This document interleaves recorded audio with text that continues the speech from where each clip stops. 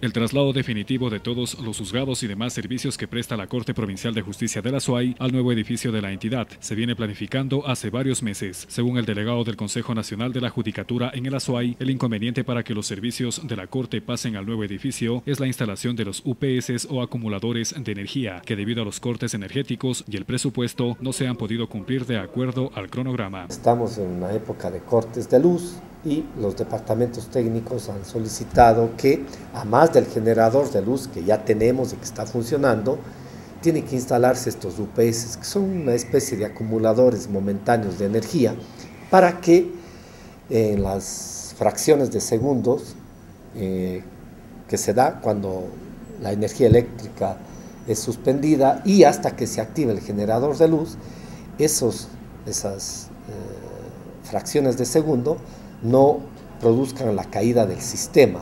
estos UPS hacen esa tarea, cumplen esa tarea, ¿no? 140 mil dólares es el monto que se requiere para la ubicación de los UPS que evitarán cuando una computadora esté encendida y existan los cortes de energía. Estas pierdan la información de un caso que en ese momento se esté procesando. Una vez que se ubiquen los fondos, nos han dicho la instalación no tardará más de 15 días.